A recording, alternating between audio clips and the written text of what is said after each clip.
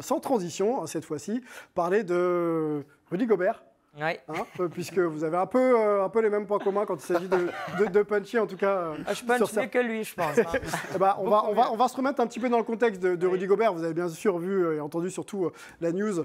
Euh, C'était il, y a- il y a deux nuits au moment où on enregistre, ou même la nuit dernière d'ailleurs. Match euh, coup près pour se qualifier donc, euh, pour les play-in et éventuellement pour les playoffs qui oppose les Wolves de Rudy Gobert aux euh, Pelicans, je crois, si je dis pas de Ouais, bêtises.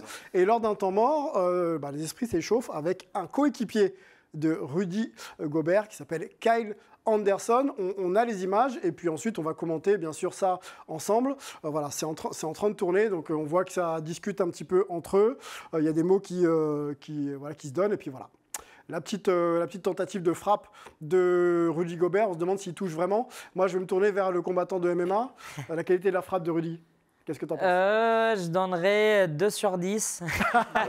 Ok. Non, mais si, si tu pars du principe qu'il ne cherche pas à lui mettre une droite dans- au visage, que c'est plus euh, un geste de. Euh, non, ça, ça se voit que c'est pas pour le frapper. On est d'accord, hein. Ouais, ça, ça se voit.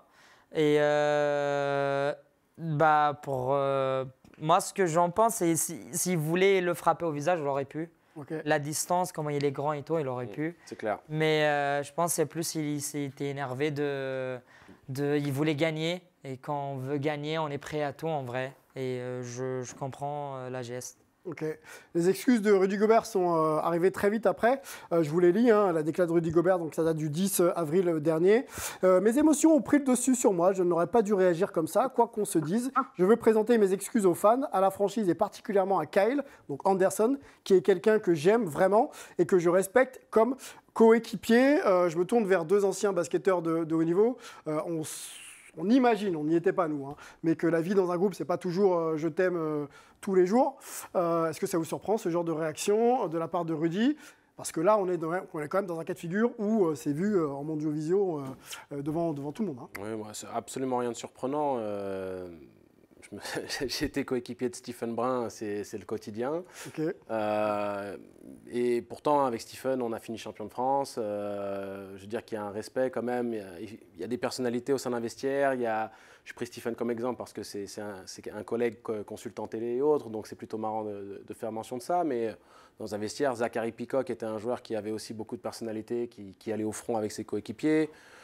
On peut vivre avec un coéquipier avec qui on ne s'entend pas. Tu peux vivre avec, bien sûr. Et, euh, et je pense même que la plupart des coéquipiers avec qui on vit, on subsiste euh, malgré, on va dire, les différences de caractère et de mode de fonctionnement. C'est ça aussi la subtilité du basket de haut niveau et, et du 5-5, puisque t- on est avec un groupe de 12 à 15 hommes, Mhm. où ben, c'est du management pour les coachs de réussir à faire, euh, à faire euh, co- collaborer toutes ces, liant. toutes ces Bon. personnes dans un... Moi, je suis juste à l'opposé complètement Allez, de ce que bah, je dire. Angelo. Alors, oui, il y a une partie qui est complètement vraie. C'est vrai qu'on est obligé de manager. C'est vrai qu'on s'est déjà embrouillé, que même moi, qui suis plutôt pas conflictuel, j'ai- je me suis battu, sauf que c'était dans le vestiaire. C'est ça, ouais. On lavait notre linge sale en famille, comme on dit. C'est-à-dire qu'on ne le montrait pas en mondiovision, on se retenait de le faire devant tout le monde. Là, il passe à la télé nationale, tu es obligé de maîtriser tes nerfs. Mm. Moi, moi, ça me choque. Il y a- il y a- ça, ça me choque. Ensuite, Kyle Anderson, c'est une petite pute. On, peut dire ce qu'on veut. Non, non, mais pute, complètement. Euh, et, et ensuite, on sent que quand même, Rudy Gobert, il n'est pas super bien intégré à son équipe parce que dès qu'il donne le, le- le- le coup, tout le monde lui tombe dessus, tout le monde le repousse, et on a l'impression que c'est tous contre Rudy. Contre Rudy Et- et pas. Et ouais. cette image, moi, elle me dérange un petit peu parce que je me dis que Mais Fred, tu as vu, là, c'est plus compliqué. t'as vu le body language même de, de Carl Anthony Towns sur la remise en jeu? Tout de suite, c'est lui qui est...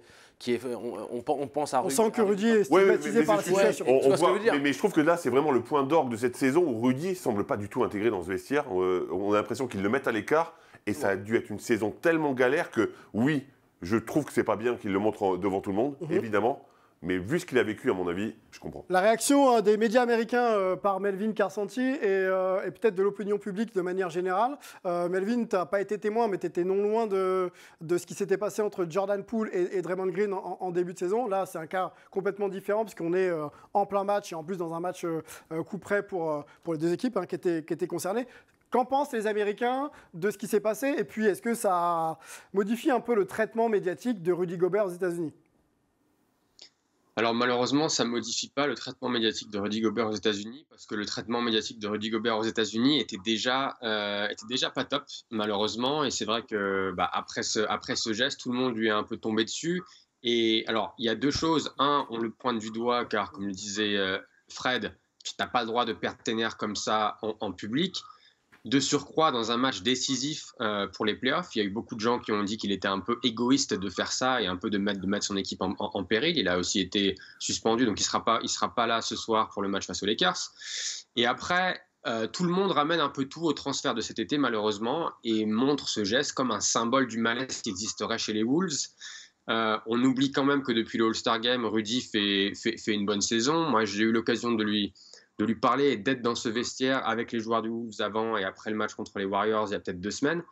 Et l'ambiance était vraiment au, beau fixe. Donc, je ne sais pas s'il est mal intégré, mais c'est vrai que c'est un peu toujours sur le terrain. On sent souvent qu'il est, qu'il est, qu'il est montré du doigt. Alors après, quand les propos d'Anderson sont, sont, sortis, ça a un tout petit peu atténué le tollé contre Rudy, mais ça reste un peu le ennemi public number one. Tu le disais, Melvin, euh, ma question va, va, vers Paul. Euh, suspendu pour le match de play hein, donc un match très très important pour la suite de la saison euh, des Wolves. Est-ce que ça en dit long justement cette suspension sur le statut qu'a Rudy au sein de son, équipe? Et je vais plus loin, quid de Rudy pour la saison prochaine? Est-ce que son avenir est compromis au sein de cette franchise? Bah, on peut clairement dire que pour l'instant, ce n'est pas une réussite, l'association Towns-Gobert, que, beaucoup en doutaient déjà. Et tout le monde, comme le disait Melvin, parle de ce transfert comme l'un des pires de l'histoire désormais. Ah, après, cette association, juste pour mm, diminuer un petit peu et atténuer ce que tu dis, oui.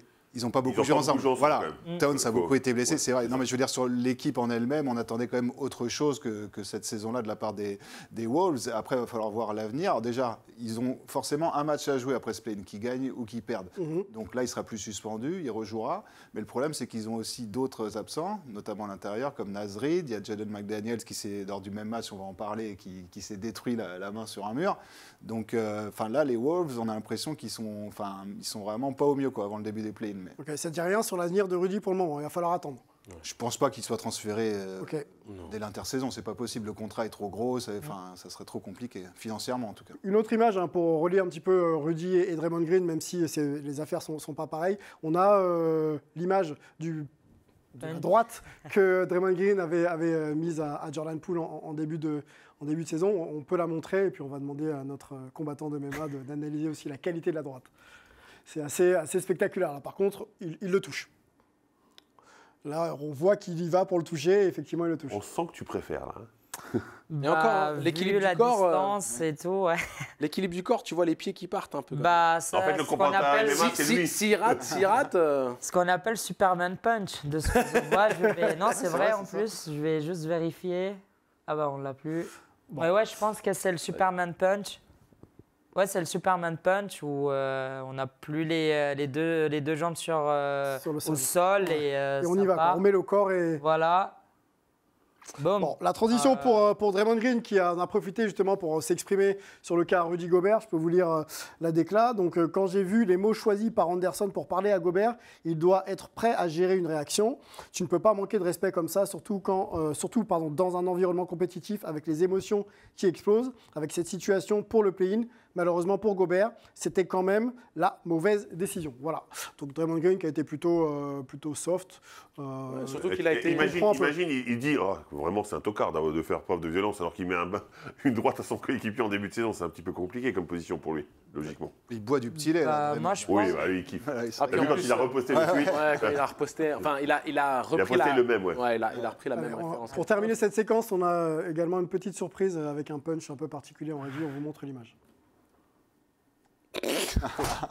c'est pas un punch. C'est pas un punch, c'est une claque euh, d'Angelo qui se fait justice lui-même sur un terrain grec. Euh, petite analyse rapide de la claque par Michael Bah, la net Diaz, pas mal, hein